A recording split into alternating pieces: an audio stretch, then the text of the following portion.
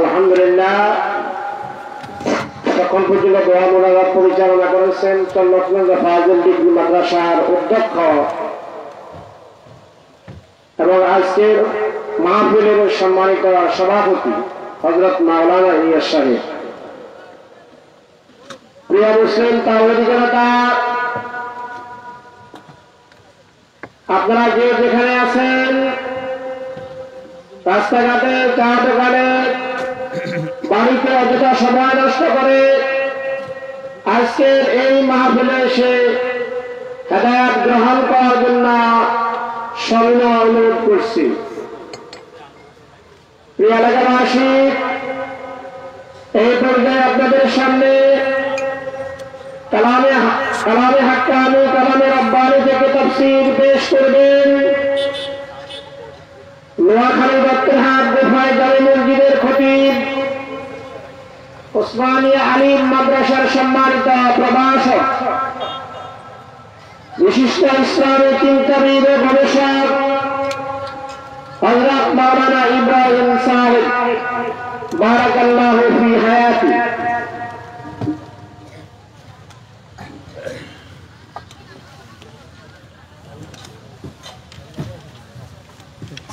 একটু সামনে আসতে ভালো জি।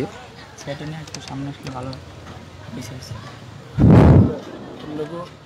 টেবিল স্ট্যান্ড নেই টেবিল স্ট্যান্ড থেকে ক্যামেরা ভালো তো না।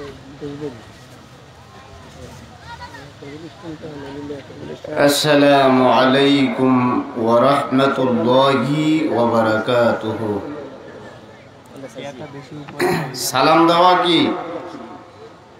সুন্না সালামের জবাব দেওয়া ওয়াজিব আমি আবার সালাম দিচ্ছি আসসালামু আলাইকুম ورحمة الله وبركاته. الحمد لله. الحمد لله وحده والصلاة والسلام على من لا نبي بعده. فأعوذ بالله من الشيطان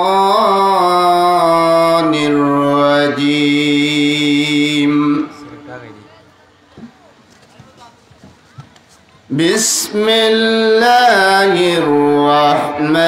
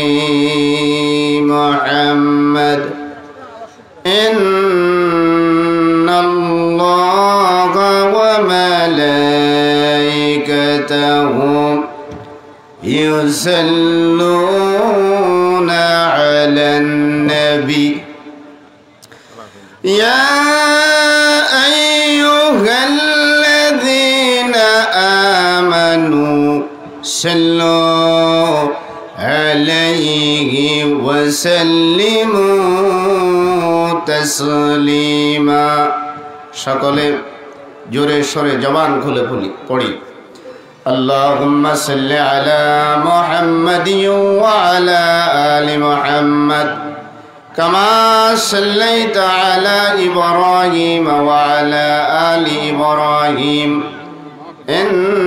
إنك حميد مجيد اللهم بارك على محمد وعلى آل محمد كما باركت على إبراهيم وعلى آل إبراهيم إنك حميد مجيد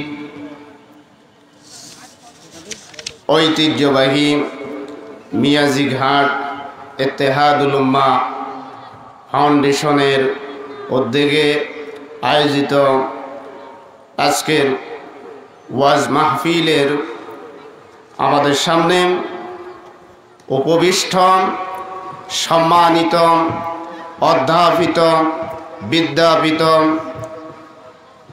ঐতিহ্যবাহী চর লক্ষ্মীগঞ্জ নাজিরিয়া সিনিয়র ফাজিল মাদ্রাসার সম্মানিত অধ্যক্ষ মহোদয়, আমার পাশে সাবেক অধ্যক্ষ মহোদয় উপবিষ্ট রয়েছেন। আমার সামনে মুরব্বিয়ান এজাম হজরত ওলামাই কেরাম কসিকাসা ভাইরা পদ্মার অন্তরালয়ে সম্মানিতা মোকাররমা মোয়াজ্জামা মা ও বোনেরা। আসুন আমরা সকলে যে মহান রব্বে করিম আমাদেরকে আজকে মাহফিলের স্থলে এসে, মাহফিলের ফ্যান্ডেলের নিচে এসে বসার মতো তৌফিক, বুঝ, বুদ্ধি, বিবেক দান করলেন।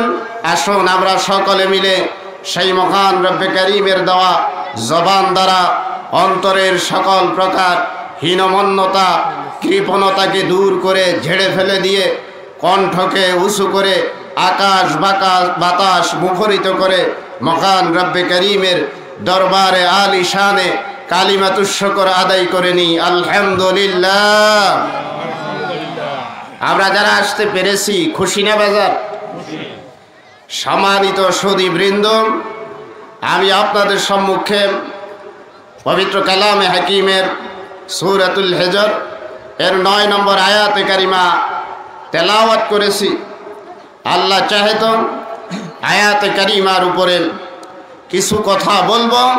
আল্লাহ রব্বুল আলমিন আমাদেরকে আমলের নিয়তে বলা এবং শোনার মতো যোগ্যতা দান করুন। আমরা আলোচনাতে প্রবেশ করছি আর ভূমিকা নয়। أعوذ بالله من الشيطان الرجيم. بسم الله الرحمن الرحيم.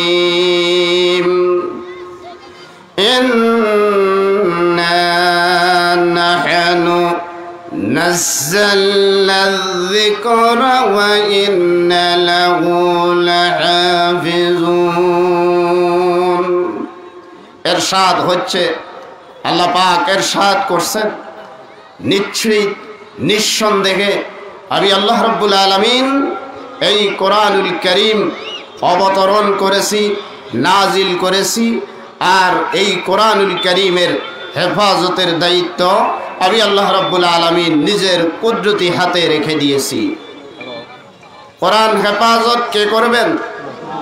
আল্লাহ সুবাহ কোরআনের বিরোধিতা করেন নমরুদ, ফেরাউন হামান পৃথিবীতে যারা দাম্ভিকতা দেখিয়েছিল যারা আল্লাহর আসমানি কিতাবকে পৃথিবী থেকে নিচ্ছিন্ন করে দেওয়ার ষড়যন্ত্র করেছিল, তারাই ইতিহাসের পাতায় নিচ্ছিন্ন হয়ে গিয়েছে, কোরআনুল করিম এখনও আছে, কেয়ামত পর্যন্ত থাকবে। এই কোরআনকে নিচ্ছিন্ন করার ক্ষমতা কারও নেই। যেহেতু এই কোরআনের হেফাজতের দায়িত্ব কে নিয়েছেন? জোরে বলেন, আল্লাহ সুবাহ নিয়েছেন। আর কোরআনুল করিম এমন কালাম যেই কালামের মধ্যে কোন মিথ্যার সংমিশ্রণ আছে কি? নেই। আল্লাহ পাক বলেন আলিফ লাম যালিকাল কিতাবু লা রাইবা এটা এমন কিতাব যেটার মধ্যে কোনো সন্দেহ নেই।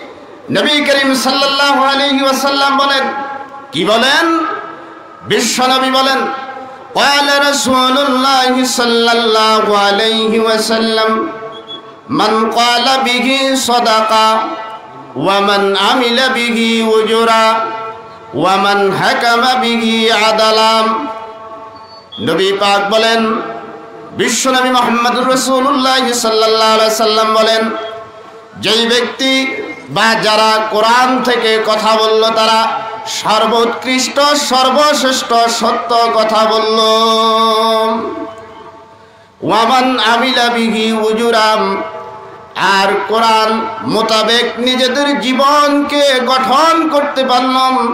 আল্লাহ পাক এই জীবনের আমলগুলো মিজানের পাল্লায় উত্তোলন করবেন। ওয়ামান হাকামা বিহি আদালা।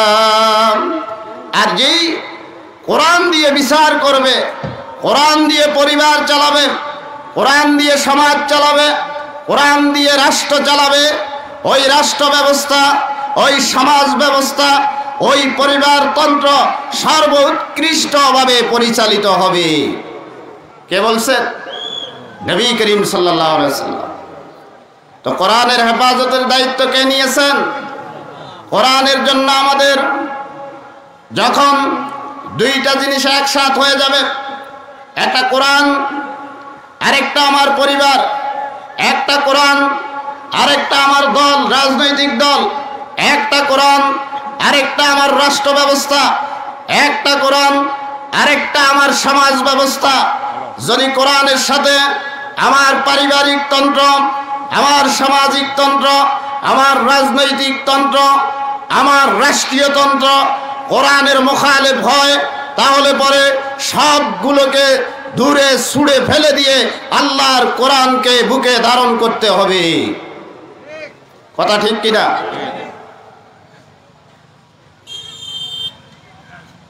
রসুল করিম সাল্লাহ আলী হাদিস শরীফের ভিতরে সাত করেন এবনে হেব্বানের ভিতরে হাদিস এসেছে।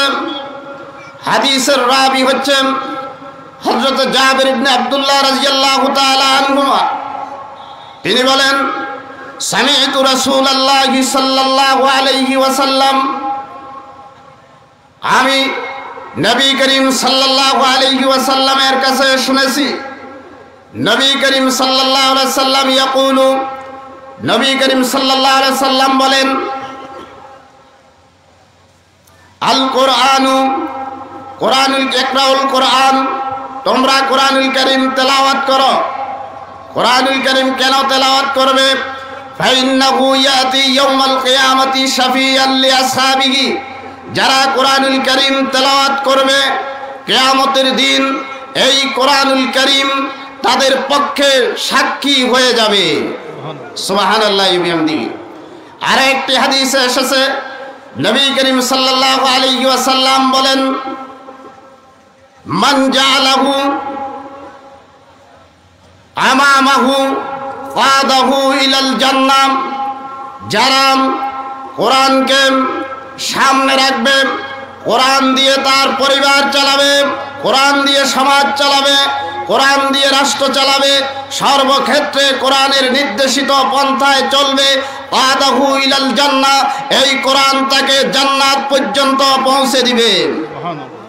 নবী করিম আলাইহি সাল্লাম পরের অংশে বলেন, ওয়ামান জালাহু খালফাহু, যেই কোরআনকে পিছনে ছুঁড়ে ফেলে দিল, কোরআনের নির্দেশিত পন্থায় কোনো কিছু পরিচালনা করল না। সাকাহু ইলান্নার নিশ্চিতভাবে এই কোরআন অপমান অপমান করার কারণে, কোরআনের জিন্দিগি গঠন করার, না করার কারণে আল্লাহ পাক তাদেরকে এই জাতিকে জাহান্নামে নিক্ষেপ করতে দ্বিধা করবেন না। এজন্য আমাদেরকে কোরআনের নির্দেশিত পন্থায় সব কিছু চালাতে হবে। কোরআনের জন্য প্রয়োজনে নিজের জীবন পর্যন্ত দিয়ে দিতে হবে।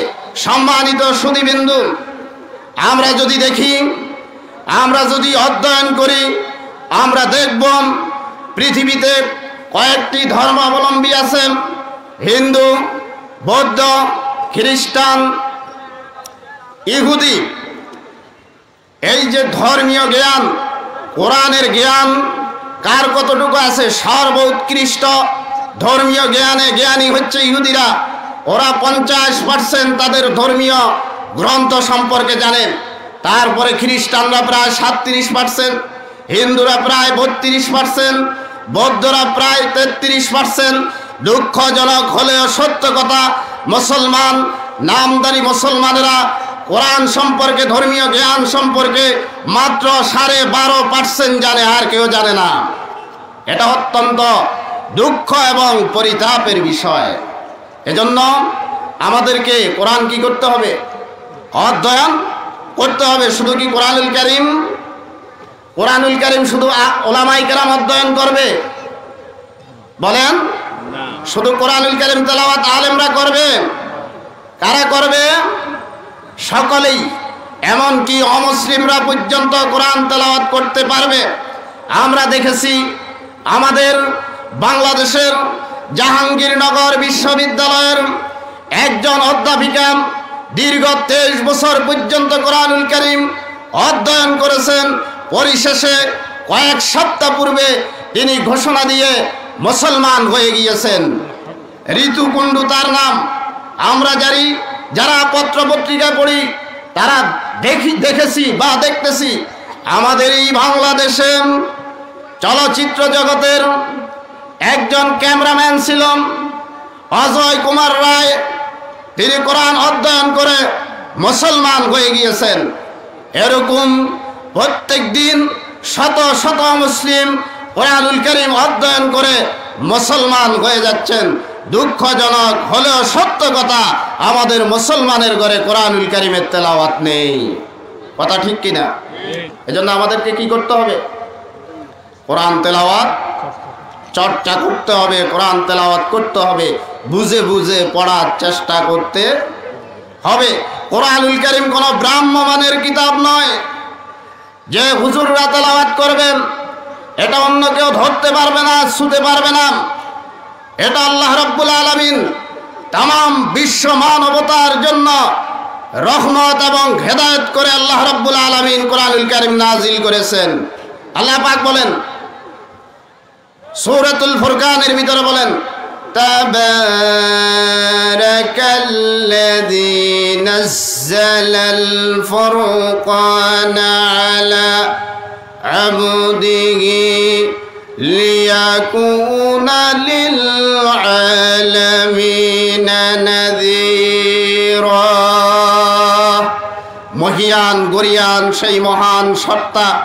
তিনি এই সত্য মিথ্যার পার্থক্যকারী গ্রন্থটি তার গোলাম মোহাম্মদুর রসুল্লাহ সাল্লাহ সাল্লামের উপর নাজিল করেছেন। কেন নাজিল করেছেন? যাতে করে নাদিরা, যাতে করে এই কোরআন দ্বারা তিনি বিশ্ব মানব মণ্ডলীকে হেদায়েত দিতে পারেন, পথ দেখাতে পারেন পদ নির্দেশিকা দিতে পারেন। আমাদের কাছে একটি মূল্যবান গ্রন্থ আছে সেটির নাম কি? আল কোরআনুল করিম। এই কোরআনুল করিম হেফাজতের ব্যাপারে আমরা কে কতটুকু দায়িত্ব নিয়েছি আল্লাহর কাছে আমাদের জবাব দিতে হবে। কোরআনুল করিম রসুল করিম সাল্লাহ সাল্লাম বলেন হজরত আনাস হাদিসের রাবি আহমদের ভিতরে এসেছেন وعن أنس رضي الله تعالى عنهم قال قال رسول الله صلى الله عليه وسلم إن لله أهلين من الناس হজরত আনাস রাদিয়াল্লাহু তাআলা আনহু থেকে বর্ণিত তিনি বলেন রাসূল করিম সাল্লাল্লাহু আলাইহি ওয়াসাল্লাম ইরশাদ করেছেন নিশ্চয় আল্লাহর একটি পরিবার রয়েছে ইন্না লিল্লাহি আহলিনা মান আহলুন নাসি বিশ্বনবী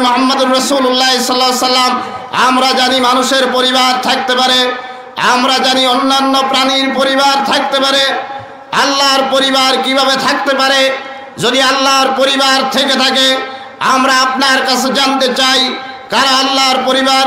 রসুল করিম সাল্লাহ আলী ওয়াসাল্লাম এরশাদ করেন, আহলুল কোরআন হুম আহলুল্লাহ। যারা আল্লাহর কোরআন অধ্যয়ন করে, যারা আল্লাহর কোরআন গবেষণা করে, যারা আল্লাহর কোরআনকে বুকে ধারণ করে, তারাই হচ্ছে আহলুল্লাহ, আল্লাহর পরিবার। এজন্য আমাদেরকে আল্লাহর পরিবার হতে হবে। আল্লাহর কোরআনকে বুকের ভিতরে জড়িয়ে ধরতে হবে। বাংলাদেশ যেই স্বাধীনতা সার্বভৌমত্ব আমরা পেয়েছি, আমরা দেখতেছি বাংলাদেশের আকাশে কালো মেঘ ছেয়ে গিয়েছে। যেই মেঘটি কোরআনের বিরুদ্ধে যাচ্ছে, যেই মেঘটি রসুল্লাহর সুন্নাতের বিরুদ্ধে যাচ্ছে, আমরা দেখেছি আমাদের কোরআন প্রেমিক পাঁচজন ভাইকে হাট হাজারিতে পাখির মতো গুলি করে হত্যা করা হয়েছে। আমরা দেখেছি ব্রাহ্মণবাড়ি আমাদের ভাইকে হত্যা করা হয়েছে। কোরআনকে নিচ্ছিন্ন করে দেওয়ার চক্রান্ত আর ষড়যন্ত্র চলতেছে। এদেশের তৌহিদি জনতা যারা কোরআনকে ভালোবাসে, যারা কোরআনকে বুকে ধারণ করে, তাদের এক ইঞ্চি পরিমাণ, এক ফুটা পরিমাণ রক্ত থাকা অবস্থায় এদেশ থেকে কোরআনকে কোনো ক্রমে নিচ্ছিন্ন করে দেওয়ার দুঃসাহস কেউ করতে পারবে না। আর যদি কেউ এই কোরআনকে নিচ্ছিন্ন করে দেওয়ার দুঃসাহস করে, করতে চায়, হামানের যে অবস্থা হয়েছে, ফেরাউনের যে অবস্থা হয়েছে, নমরুদের যে অবস্থা হয়েছে, নমরুদকে আল্লাহ রব্বুল আলমিন সামান্য মশা দিয়ে ধ্বংস করে দিয়েছেন, ফেরাউনকে আল্লাহ রব্বুল আলমিন পানি দিয়ে ধ্বংস করে দিয়েছেন, যারা কোরআন, কোরআনের সাথে বেয়াদবি করেছে, কোরআনের মোকাবেলায় নিজেদেরকে কোরআনের সামনে উপস্থাপন করতে চেষ্টা করেছে, কোরআনের বিপক্ষে গিয়েছে, আল্লাহর কালামের বিপক্ষে গিয়েছে, তারাই নিচ্ছিন্ন হয়ে গিয়েছে, আল্লাহর কালাম এখনও আছে, ভবিষ্যতে থাকবে, কেয়ামত পর্যন্ত থাকবে, এই কোরআনুল করিমের একটা পশম নষ্ট করার দুঃসাহস কেউ করতে পারবে না। এজন্যই আল্লাহ পাক বলেন, ইন্না নাহনু নাযালনা যিকরা ওয়া ইন্না লাহু লাহাফিজুন। এই কোরআন আমি আল্লাহ রাব্বুল আলামিন নাজিল করেছি। এই কোরআনের হেফাজতের দায়িত্ব আমি আল্লাহ রাব্বুল আলামিন নিয়ে নিলাম কুদরতি হাতে। আমি আপনাদেরকে আরেকটি ঘটনা বলেই আমার আলোচনা শেষ করব। সম্ভবত পরবর্তী আলোচক চলে এসেছেন। এই ঘটনাটি উনিশশো পঁচাশি সালের উনত্রিশে মার্চ। কলিকাতা কোরআনের বিরুদ্ধে কোরআন সাম্প্রদায়িক গ্রন্থ। এই মর্মে একজন হিন্দু ভদ্রলোক কলিকাতাতে উনিশশো পঁচাশি সালে একটি রিট দাখিল করল। উনিশশো পঁচাশি সালের ঘটনা। উনত্রিশে মার্চ এই ঘটনাটির রায় হয়, সারা বাংলাদেশ, ভারত, পাকিস্তান সহকারে সেই সময় যারা ছিলেন, যারা পত্রপত্রিকা পড়েছেন, তারা দেখেছেন, উত্তাল তরঙ্গের মতন মানুষ বিভিন্ন দিক থেকে পঙ্গপালের মতন কোরআনের সাথে গোস্তাকি করার কারণে, বেয়াদবি করার কারণে মাঠে, ময়দানে, ঘাটে সব জায়গায় প্রতিবাদ করেছিল। সেই দিন কলিকাতার আদালতে একজন হিন্দু ভদ্রলোক, বঙ্গিম চন্দ্র বন্দ্যোপাধ্যায়, তিনি এই বিচারটি দেখার জন্য গিয়েছিলেন। ঘটনাচক্রে যেই রায় দিবেন সেই রায়কারী বিচারক হাকিম ছিল একজন হিন্দু ভদ্র মহিলা তিনি বঙ্কিমচন্দ্র চট্ট বঙ্গোপাধ্যায়কে দেখেন বললেন, জনাব, স্যার, আপনি কেন এখানে এসেছেন? কারণটা কি বুঝতে পারলাম না। উনি বললেন, দেখুন, কোরআন তো আমিও পড়েছি। তবে কোরআন যে পড়েছি, আপনাদের বিচারটা দেখার জন্য এসেছি। আর যদি আমাকে একটু সময় দেন, আমাকে যদি একটু সুযোগ দেন, তাহলে পরে আমি দুই চারটি কথা বলতে আপনার কাছে চাই। বলে হ্যাঁ বলুন। এক নম্বর কথা হচ্ছে, মহাভারত, গীতা, রামায়ণ, যেই সমস্ত গ্রন্থগুলো আছে, ইঞ্জিল, এই গ্রন্থকে ত্রিপিটক, যত ধর্মীয় গ্রন্থ আছে, কোরআনুল করিম সহকারে সব গ্রন্থগুলোকে ভারতীয় সাগরে যদি ভাসিয়ে দেওয়া হয়, সবগুলো নিঃশেষ হয়ে যাবে। আপনাকে আমি বলতেছি, ত্রিপিটক খুঁজে পাওয়া যাবে না, গীতা খুঁজে পাওয়া যাবে না, রামায়ণ খুঁজে পাওয়া যাবে না। তারপরে খ্রিস্টানদের ধর্মীয় গ্রন্থ যেগুলো আছে, সেগুলো খুঁজে পাওয়া যাবে না, সবগুলো বেসে যাবে। আপনাকে বলতেছি কোরআন সহকারে সব আপনি ধ্বংস করে দিলেন। আপনাকে বলতেছি, সবগুলো পৃথিবীর পাতা থেকে নিচ্ছিন্ন হয়ে যাবে। কেউ আর ত্রিপিটক রচনা করতে পারবে না, কেউ রামায়ণ রচনা করতে পারবে না, কেউ ইঞ্জিল রচনা করতে পারবে না। আমি এই আদালতে বলতেছি, সব ভারতীয় উপমহাদেশে আল্লাহ রব্বুল আলমিনের এই কালামকে বুকে ধারণকারী পবিত্র কালামে হাকিম তিরিশ পারা রচনা করে দিতে পারবে। এজন্য বলতে চাই, আমাদের স্পষ্ট কথা, কোরআন নিয়ে যারা খেলতে যাবেন, কোরআনের সাথে যারা প্রতিযোগিতা করতে যাবেন, কোরআনকে যারা নিচ্ছিন্ন করে দেওয়ার চক্রান্ত করবে, আল্লাহ রব্বুল আলমিন তাদেরকেই নিচ্ছিন্ন করে দেবেন, তাদেরকে ইতিহাসের ইতিহাসের নির্মম পরিহাসে পরিণত করবেন, কথা ঠিক কিনা? এজন্য আমাদেরকে আমাদের কোরআন আমাদের বুকে ধারণ করতে হবে। রসুল করিম সাল্লাল্লাহু আলাইহি ওয়াসাল্লাম হযরত মুআজ রাদিয়াল্লাহু তাআলা আনহুকে বলেন হে মুআজ, এমন একটি সময় আসবে, এমন একটি সময় আসবে যেই সময় কোরআন রাষ্ট্রীয় ব্যবস্থা থেকে আলাদা হয়ে যাবে। লা তুফারিকুল কোরআন ওয়াস সুলতান রাষ্ট্রীয়ভাবে কোরআন রাষ্ট্র থেকে আলাদা হয়ে যাবে। ওয়াইন আতাতুমুহুম ওয়াইন আতাতুমুহুম ফায়ুজিল্লুনাকুম যদি এই অবস্থায় কোরআন যখন রাষ্ট্রীয় ব্যবস্থা থেকে আলাদা হয়ে যাবে, তখন এই রাষ্ট্রের সাথে যারা যোগ সাধন করে রাষ্ট্রের সাথে একাত্মতা পোষণ করে, কোরআনের বিরুদ্ধে অবস্থান নিবে। তাদের ইমান থাকবে না। আল্লাহ পাক তাদের ইমানকে ছিনিয়ে নেবেন। সেই যুগ কি এসে গেছে না চলতেছে? সেই যুগ কি এসে গেছে না চলতেছে? চলতেছে। আল্লাহর পয়গম্বর পরের অংশে বলেন, যদি যদি তাদের বিরোধিতা করা হয় যদি তাদের বিরোধিতা করা হয়, ভালো করে শুনি।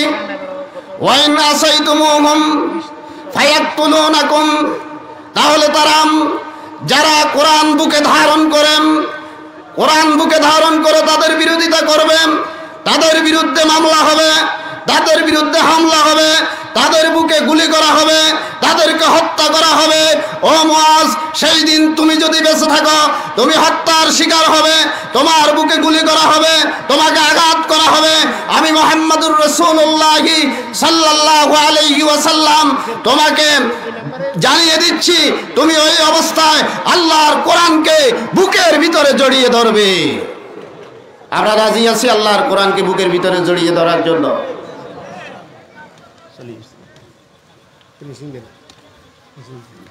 আল্লাহর কোরআনকে বুকের ভিতরে জড়িয়ে ধরার জন্য রাজি আছি কি? আমাদের জীবনে কি? কোরআন আমাদের মরণে? কোরআন আমাদের জীবনে কি? কোরআন কোরআন আল্লাহর কিতাব, এই ব্যাপারে কারও সন্দেহ আছে? কোরআন আল্লাহর কালাম, এই ব্যাপারে কারও সন্দেহ আছে? কোরআনের ভিতরে একটা ভুল শব্দ আছে? বরংস যারা কোরআনকে ভুল ধরতে গিয়ে কোরআন অধ্যয়ন করেছে, তাদের জীবনের ভুল ধরা খেয়ে কোরআনের কাছে তারা আত্মসমর্পণ করেছে।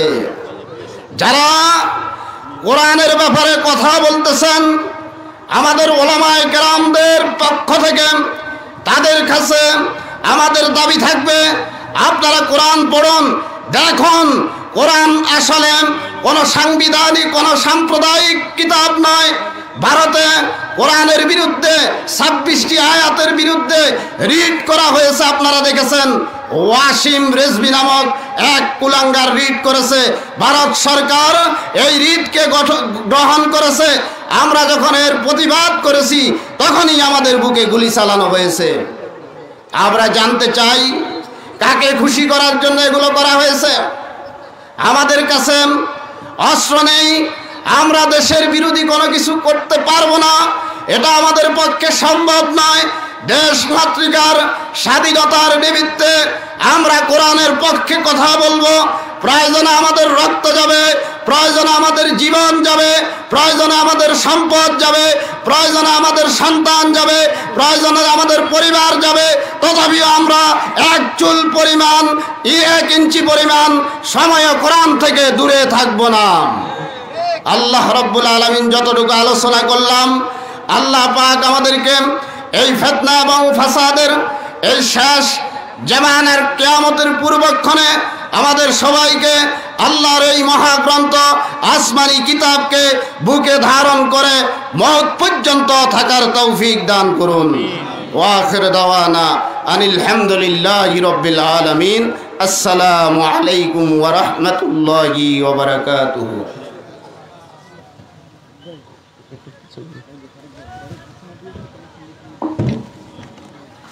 আলহামদুলিল্লাহ।